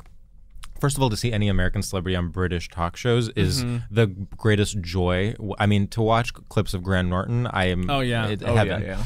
Um, but it's like her on morning shows, and she just goes, "Let me tell you something, y'all. Theater is no joke." Yeah. and then everyone like goes wild. They're like, "You, You- said yeah, it." Oh my gosh! To say more about that. She Yeah. eight shows a week. They go, Yeah. oh my god! Say more about that. Yeah. it is exhausting. Ugh, well, thank you so much for coming. But I do. I mean, how? What a great sort of career chapter for her to be covered in blood doing. uh Also, the reason that she's covered in blood, Yeah. like the twist at the end of Sunset Boulevard, I won't say because again, I, I encourage everyone to see it when they can, if they can, is so fucking crazy and works so well. And this director, Jamie Lloyd, who also did A Doll's House with Jessica Chastain. Oh, I didn't realize. he everything he does is like this like really classic or you know purporting to be like iconic you know stuff and but done very minimalist with like Mm-hmm. really weird choices and like very apt choices and he's just really good and then you see him and he's like covered in tattoos and like Oh you my know- God! Yes, I remember. Uh, yes, I, I remember seeing him when he and Jessica Chastain were like doing press together. yes yeah, yes yeah, yeah. yes so now he's out like doing press for Sunset Boulevard and you're like oh this is him and you're like I don't know it's just very cool Yeah. and, and it's like reinventing things for not necessarily a younger audience, but just like a, an audience that is going to be, you know, revitalized by something like Mm. Yeah. this. It's it's it's it's worthy of worthy of eyes. Oh, should we do our final segment? we have to, but I don't want. I'm having so much fun. I know, and I'm looking up at the clock and it's 11:30. No, I know we have to. We have And to. and so it's just like unfortunately like it's one of those things where like the decision is being made for us by Mm. time. It's Yeah. so messed up. I hate that we are all products of our time. But what I would love is if you guys came back on the LC. Oh, that would be such a treat. oh my God! I would. I think that would. I would Maybe love we that. can convince Bowen Yang, heard of him, to get here in this very room at some point, like within the next couple weeks. That would be mean, I incredible. feel like the girls want that Holiday app. holiday app. Also, Yeah. Nicole Scherzinger would be a great Mrs. Claus. Oh, certainly. Of course. You know, so I will plug the album very quickly. Please. I have a song which I mentioned earlier called Every Christmas Eve, which is Mrs. Claus's theme, and I think she would do a stunning performance of it. And what I want to have happen eventually with the album is Hamiltonize it, Hamilton mixtape, where all my songs are covered by other people, and I would say to her hmm. that I think she would. I've said it before. I'll say it again. Eat down on this song. Mm-hmm. And I just want to say, I know we haven't had a lot of time to promote the album. To me, your Christmas show is like, as we said before, it's difficult to get on board with new lore to the to the Yes. Christmas lore. Yes. And I would say in my entire adult life, your show has been the one thing that I have accepted into my life as like new canon. And the the the ha- the joy that show brings me every year. It's actually I have two traditions media wise. One is going to your show and the other is watching Eyes Wide Shut. Really? yes. Oh, I love that. You're exactly who. Yeah. That that, that cross section is major. Yeah, and, and um, there is a photo of like a group of us after your show in probably like 2018, and we're all sort of wearing like Christmas coated sweaters, Mm-hmm. and it truly is like a warm bath to me. Aw. Like it is. Are you gonna get to come this year? It's Well- really late in the month. I It's December 23rd at Town Hall. I'll late. be I think here. you're I gonna be out of town. Like many people. If you're here, come. I mean, like obviously, just tell me. Yeah. I'll give you a ticket. Um, But everyone else that's listening to this has to buy tickets. you know, everything is at town hall now. I'm I'm seeing Keegan Herb there. really? Mm-hmm. Oh, that's a lot of fun. Yeah. Town Hall's great. I would say this this year I'm playing like bigger venues and it makes me nervous because like you know you don't just like it's not like you know when you used to have a show at like Union Hall Yeah, and yeah, it's yeah. like I will I sell the tickets and like of course you will. It's like now it's like I get nervous so www.mattrogersofficial.com to buy And there you tickets. go. Please come see And it. It's, it's a lot of fun, and we're doing it with a full band. Ooh, I didn't know that. I feel Whoa. like this is yeah. So Henry and a bassist and a drummer. Fun. Yeah, and it'll be fun. It is so sad that we have no musical talents. That's not true. I don't think I'm a drummer. true. I, can I say something about singing? It's not about being able to sing. It's actually about how much you want to sing. Well, have but you s- have an incredible voice. I so also that's yeah. actually You've also you've said this before, and actually That's like being like being skinny is just about loving life and Literally, walking to yeah. your appointments. State of mind. yeah. No, that's actually I, I've heard you say that before, and that is a very celebrity thing to say. Like like fo- fo- like the sort of George. faux humility. Like Any it- anyone can do what I do. Anyone can do it. It's if they just believe.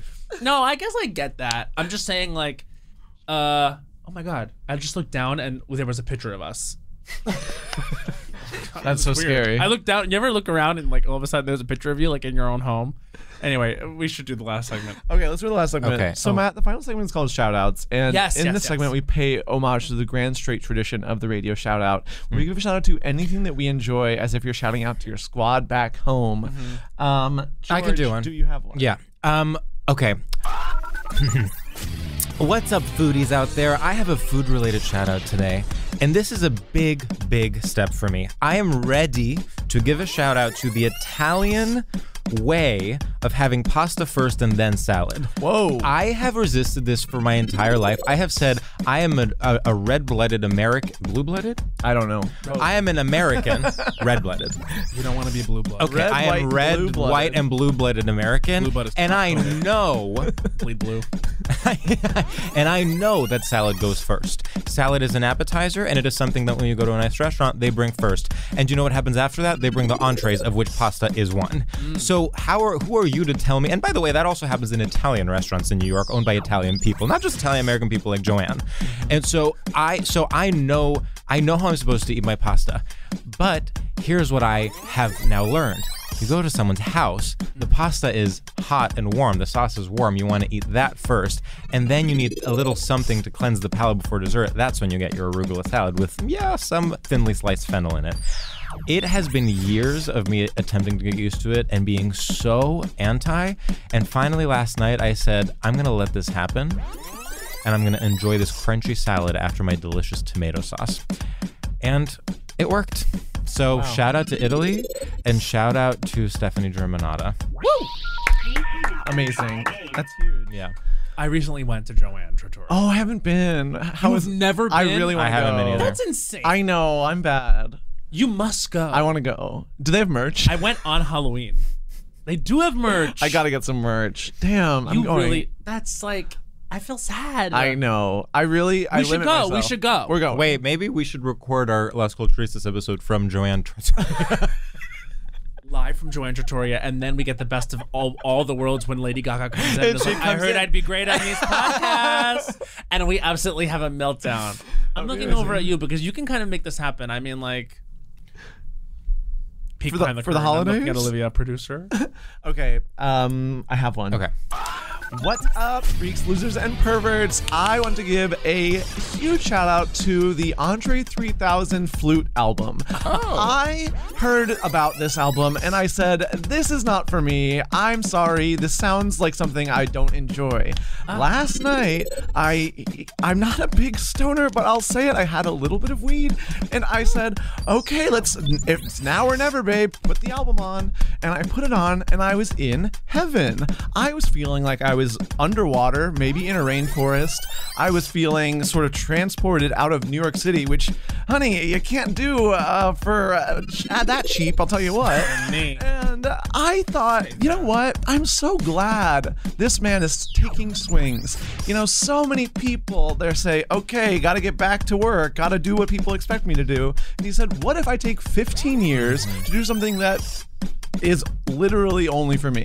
And that is so impressive and so powerful and it's fun. And it also made me be like, damn, when you have taste, you just have taste. And Yeah. that is sometimes upsetting to learn about, but also sometimes really amazing. So shout out to the Andre 3000 flute album. I love it. XOXO, Sam. Wow. People should get to show their talent. Sometimes when you have taste, you have taste. When you have taste, you have taste. And it, it doesn't matter what medium. Yeah. No, It's upsetting. That actually kind of connects to my shout out. Ooh. Okay. Ready? Yeah. What's everybody? Wow. I've never seen anything like that. What's up, everybody? It's your boy Matt Radish here on the radio, and by radio I mean it's StraightioLab Podcast. I just want to give a quick shout out to room temperature water. There's nothing oh. like you, and something that people have a misconception about is that cold water is better. No, actually, honey, cold water can actually freeze up the vocal cords. So if you're a singer out there or trying to sing, it's not about how much you can sing; it's about how much you want to sing, no matter how much anyone says. Otherwise, you can just drink room temperature water. You hydrate quicker, baby. It's because it's closer to your actual temperature of your body, and it lubricates. Yeah, I said it. The vocal oh, cords. ooh. Oh my god, this has like room temperature water. It tastes good because actually your body has to love it. It's the only thing no one can argue with. Every human needs water. That means every human loves water. It's like when you feel the warmth on your skin, honey. It's good. And the rain on your so everyone drink up this Christmas, this holiday season. I want to see you drinking room temperature water. Put the beers down, put the cocktails down. Just drink water, baby. This is a special shout out to all my sober people out there. I know you love water too, and I love you. Hey, shout out. Woo! Woo! I think that's so amazing. I actually love room temperature water as well. It's and when so good. when water is Haven't cold, you- I get upset. Haven't you done a shout out to room temperature water before? That's what makes. And I've said it before that you're the Bowen and you're the Matt. Yeah. Yeah. I mean, I I- it was in our episode of the Aparna Nancherla. Really? Either you or Aparna did a shout out to room temperature water, and then it became a whole conversation. Right, because I talked about how ice cream's too cold and they need to make warm ice cream. The- Sam's Sam thinks they need to make warm ice cream. Well, Well, room temperature. God, I'm literally trying to think. Warm You want a compared to you ice want a cream. creme brulee? Warm No, ice I want a cream. panna cotta. I want room temperature ice cream. You want milk. No, I want it to be the texture of ice cream. And you- and Just not so damn cold. and once again, you this don't. makes sense. You are milk. You are baby right now. I you are want- literally baby girl. I want cream. ice cream. wait, wait. I think the three of us are baby girl. I know. Okay, what So is baby when a girl? guy calls you baby girl. Oh, you know what baby, baby girl girl. is. I know that it's the new thing now that everyone is baby girl and Jacob Elordi's baby girl, but I haven't done I the don't research even know if he is baby girl. He's little baby girl when he wears because he has little a purse. Ask Patrick Rogers what baby girl is. Ask House what baby girl is. He'll tell you. Well, I, but you're here now. Uh, baby girl is like someone who like presents as a little bit masked, but Yeah. like low key. Like Pedro Pascal is baby girl. Yeah. Totally. Like, but he's low key a little bit like. y- Oh yeah. Yeah. You prob you probably could put your dick inside him. There's an undercurrent. Oh, I see. It's like baby girl is like you know like when a masked person has like a little bit of a femme voice, they're a little baby girl. Yeah. Totally. Yeah, And there you it's go. It's a hint. It's a I'm wink. trying to. I'm trying to like think of a good uh, a celebrity baby girl. Um, let's see. Yeah. Well, I just kind ba- mean, Pedro is baby Pedro. girl. Okay. I mean, I think I think like in a way like Bad Bunny is baby girl. Yeah. Yeah. I think that um in many ways uh, who's Okay. baby girl? Oh, oh, like Andrew Garfield is baby girl. yeah. Totally. Totally. Wow, great example. Like, cause, you get the sense that he'd be like, he would like cozy up to you if you said something nice to him and give you a soft kiss on the cheek. Remember that's remember that interview that Andrew Garfield did with Colbert where they kissed. Yeah. That was like peak baby girl behavior. Hmm. Okay. I'm baby. Does that make sense to you now? Absolutely. You know who else is baby girl? The celebrity we- I was talking about before we started recording. Oh this yeah, podcast. totally baby girl. But That's true. unfortunately, He is can't. baby He is so baby girl. Yeah. Well, Matt, thank you so much for doing the podcast. Thank you so much for having me. How many times have I been on? Four. Uh, seven. Let's rational out. I've been on five. You know what we five need to get you on What? Is a live show because when we booked you last time, you oh, got sick. I really, and can I tell you something? It's one of those things where you guys will often, and a lot of people do this, but it affects me most when you do it. it. Is like when you post pictures of the live show after the fact, and I look at who you have on stage, and I'm like, I should be there. And it's never that I'm looking at someone that shouldn't be. It's just that mm-hmm. I should be. I would be. It, it hurts me that I can't also be there participating Of because course. Right. it just hurts me. And to be Right. clear, We have. I We have, have, been invited. yes. I have been invited. It's not that. yeah. No. Yeah. You have, not you have a mental block on being there. But it is a good reminder for us. You know, sometimes because we have invited you, we're like, oh, that has been crossed off the list. but it's No, a good no, no, reminder. no. It's a good reminder. No, we actually have to. to literally have always on. invite me and I live here now again. Hmm. Oh, right. I do always forget that. I forget that Yeah. because I'm like always in LA. Yeah. but I hate it, hate it, hate it, hate it. But that's a whole other podcast. Well, Damn, you again And sounds I- so celebrity. I live in New York now, but I'm never here. Well, you know, you And were anyone can sing. you were almost uh, you know we were we haven't sent out invites yet but we were making our list for our christmas party and you were almost not on it because i was going off of last year's list which you were not on because you do not live here. I, I, And well, I and also liter- I tour during Christmas. Oh, right. That's really the reason That's- why I can't do any Christmas. It's actually the great conundrum of being a Christmas staple. Of course. Because that I can't participate in any Christmas things. Yeah. That is so sad. Soon I'll just be completely disconnected from the culture and I'll just be singing words I don't even recognize. I mean, yeah. It's uh, people ask us, "What are you doing for Pride?" We say, "We're posting." We're working. we can't even get into the spirit of pride anymore. I forgot because- what pride is. I forgot I was gay. Honey, you're the only one. Wow. um, well, We end every episode. go out song. there. How uh-huh. do you guys end? we go bye. Bye.